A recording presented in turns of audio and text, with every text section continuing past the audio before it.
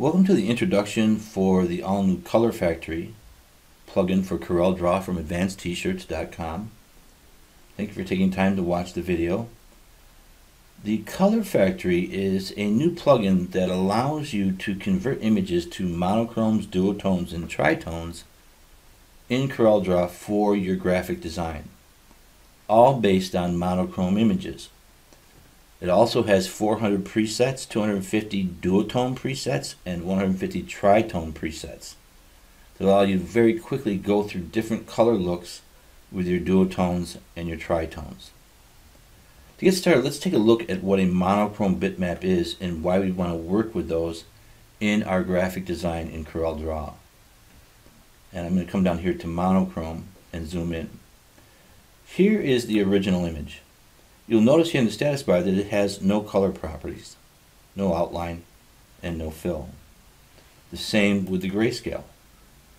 But a monochrome bitmap has color properties. We can see that we have our foreground as a bluish color and our background is transparent or we can change the color of the background by a left click anywhere in our color palettes and now I have a gray background, I could right click, it's opposite of vector, and have a darker foreground. Now usually the way we want to work with these based on the colors that we want a lighter background and a darker foreground. We also invert so that we can use the color of the shirt based on the invert of the monochromes. Monochrome gives us the ability to step outside of the world of vector and mix images that have spot colors associated with them so that the color can be changed and also color separated for different looks in our designs that take us outside of just being able to work with vector and being able to do a combination of designs yet with just a few colors.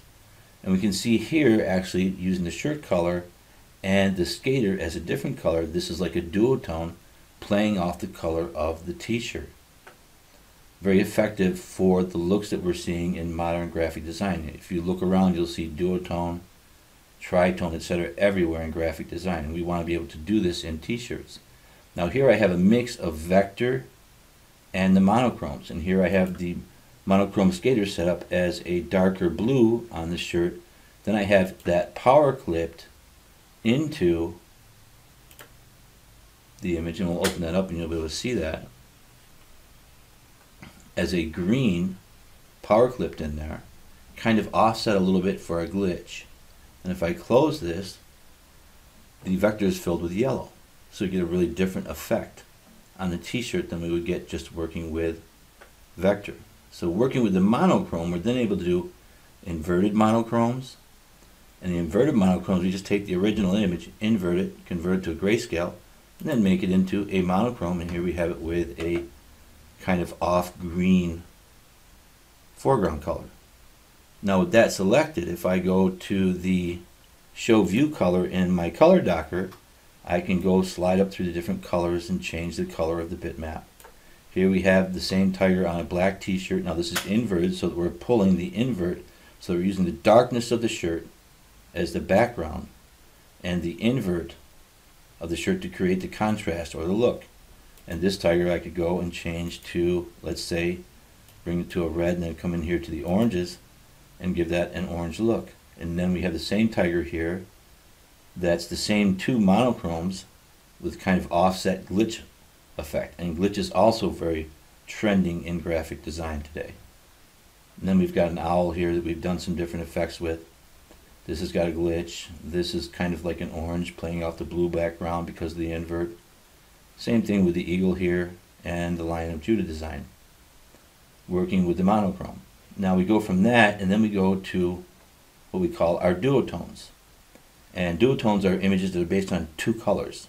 And these are actually monochromes. And as you can see, here's the different fills. Now from the color factory, I have 250 duotone presets, which you won't find that many duotone presets in any other plugin application in the graphics industry.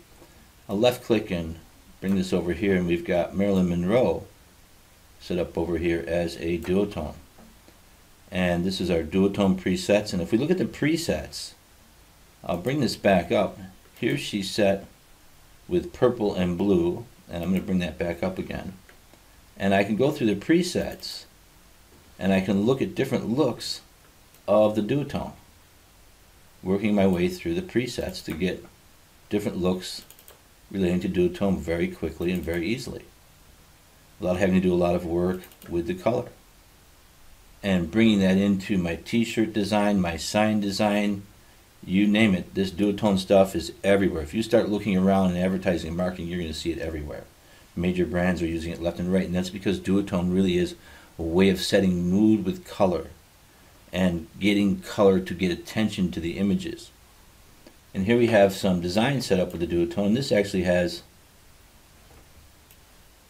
a duotone here, then another one down here, and here we have our what we call our duotone with color. And we'll get into that in just a minute, but that's a duotone design. Here's another duotone design. Now once this is set up, I can go to my presets and start to take a look at different looks very quickly and very easily on that shirt for that duotone.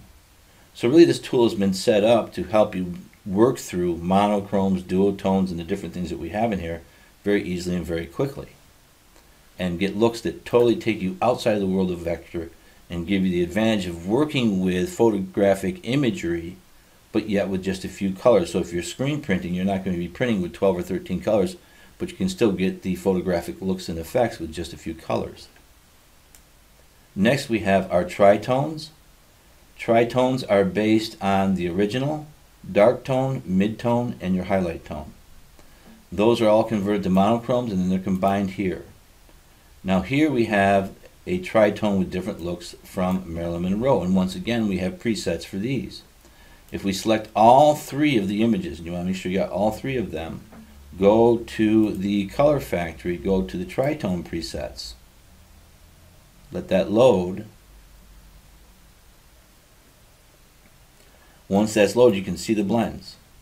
And you can double click on these. And I'm going to bring this over here and we'll just zoom in here a little bit. And we'll bring this over here to the other side. There we go. I'll bring that up. Double click here and you can see that the tritone presets let you work with and look at different tritone setups for designs. And you can see that there. Now looking at that you might say well that red's too strong but you could go in there and adjust that. Take a look at this here. You can see that effect. And once again, this is the tritone. It's three monochromes all put together. The dark tone, the mid-tone, and the highlight. I'll hit Control Z, Control Z to go back. Now after the tritones, we have our split duotones. The split duotones are set up as two duotones on top of each other and the inverted one. And this is how we work with it. We get the regular duotone, not inverted. So we take the image and we convert it to a grayscale. Then we invert that and convert that to a grayscale. Then we convert both of those to a monochrome. Now that's useful so that we can put effects on either the foreground or the background of the monochrome. Now that's set as a white. I'll hit Control Z and go back, but I can change that color to a yellow with a right click or work with my color docker. But here, if I zoom in, you'll see what I've done. I've taken the background and added some effect to that. And I've done some things with the color in the foreground for the duotone, which is separated or split from the background color. So working with the split duotones, I can get some very unique effects with textures and color in my duotone images, things we really haven't seen before in graphic design. Here we have another one where I've changed the colors, but you can still see the effect in there. And here's yet another one with a different look. So working with the split duotones, we can add effects to our graphics. After that, we have our duotone with color. Here we take the original image, we pull the black away, and then we work with just the color. And then we convert the color to a black, and then we convert that to a monochrome, and then we convert the black to a monochrome, and now we have our monochrome combined with the color. Now that'll always be as a red, and I could take that color, go to the outline, go back to my view mode, bring that into an orange, and you can see the look that I can get. I can start to get like a flesh look in that. Or I could bring that into a totally different look. Now once I've got that, I can start to work with that to create designs like you see here, just a few colors, but yet a very nice image look on different t-shirts, often playing off the color of the shirt. Here we're working with a lighter color. Here we've got a basketball player, B-Town Hang Time, and he's just two colors. Here's the original image. But if we come here, we can see that that's the red and that's the black. I'll hit Control Z and put that back and you can see there's the color.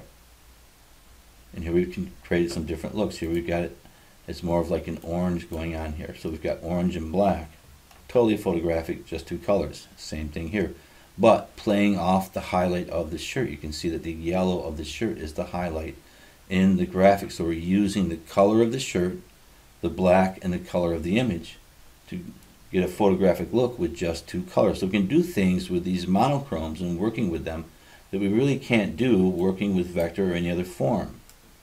Now after that we've got our inverted duotone with color and this gets really interesting. What we do is we take the, a dark image that's going to go onto a dark shirt, we invert that, we pull the black, then we pull the color, and then we take these and we convert them to monochromes and here you can see the monochrome combined. There's the red and there's the white because it's inverted to go on a black garment. And you can see that here in this design. Here's the red on top and the background is the white. And we're using the black of the garment for the contrast against the white. So it's just two colors. Absolutely photographic look. A real advantage for those that are working with four and six colors on their presses or when you want to do really great designs and work for your clients without the expense of a lot of colors and printing.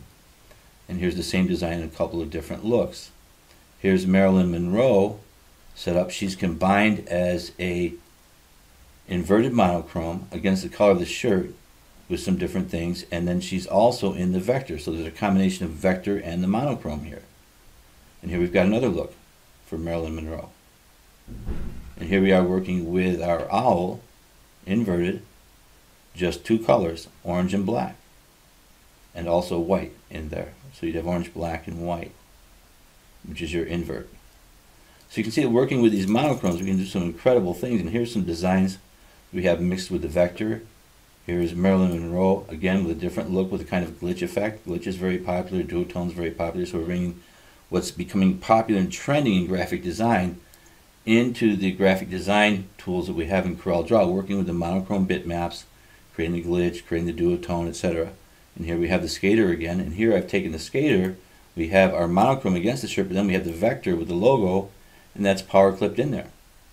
So working with the color factor, we're able to do design an entirely different level, working with vector and monochromes and really mixing things up, but yet staying within a few colors for the printing process, giving us the ability to step outside of the world of vector and compete at a different level compared to the shops that are working with vector. And the fact of the matter is you cannot work with monochrome bitmaps like this in Adobe Illustrator. Corel supports this, Illustrator does not. So we get a very distinct advantage when we're working with these types of designs and the looks that we can make working with the monochrome bitmaps and vectors and being very creative in our process, but yet through the color factor we can do it all very quickly and very easily with the features, tools, and presets that we have in the plugin. So we'll wrap here for the introduction. Now I'm going to get into some sessions on how to use it, how to work with it, and create designs with it. Thank you for watching, and we'll see you in our next session.